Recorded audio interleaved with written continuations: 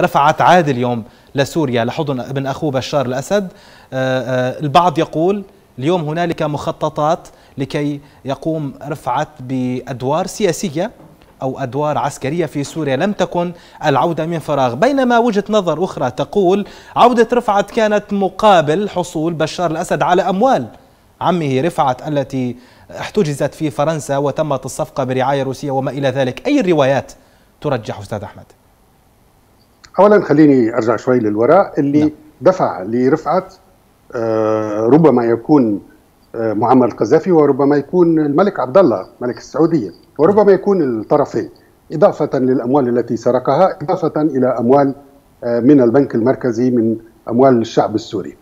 والمكان فال فال فال دو لواز نعم.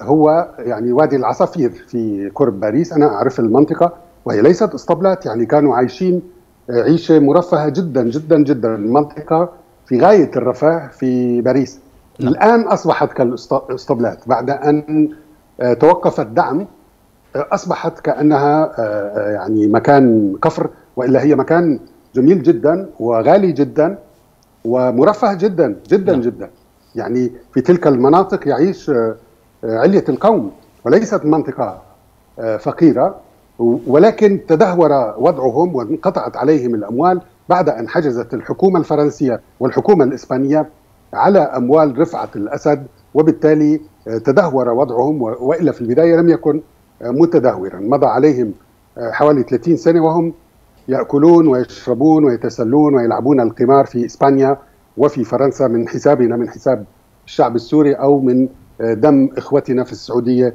أو في ليبيا. الآن لماذا عاد رفعت الأسد؟ رفعت الأسد الآن شبه ميت عمره 84 سنة، هو أصلا شخص محدود الذكاء، محدود المواهب، محدود القدرات. لا يشكل أي خطر على النظام.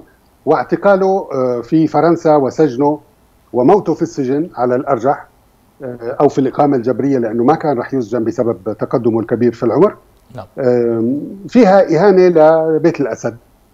يعني يبقى عم الرئيس واخو الزعيم الخالد من وجهة نظرهم هو خالد في جهنم إن شاء الله. نعم.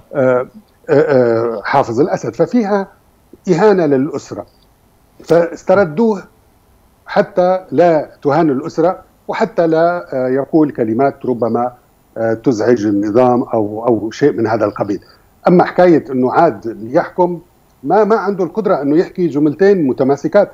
إذا بتشوف خطابات رفعت الأسد شخص يعني بتضحك أو بتبكي أحيانا بتضحك أحيانا بتبكي إنه هذا التافه هو أرعبنا سنين أرعب أرعب جيل أو جيلين من السوريين.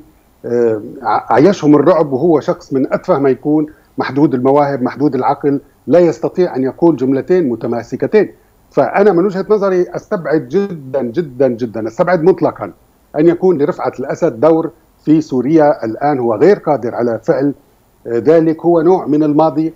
بعض السجج من الطائفة العلوية يحبون أو عندهم ذكريات لهذا الوحش. ما بعرف ليش بيحبوا الوحوش. وهو بيحبوه لأنه كان وحش وبسموه القائد. آه هذا كله فولكلور يعني ما شيء من الماضي. شيء من الماضي. رفعت الأسد باعتقادي أنا. والله أعلم.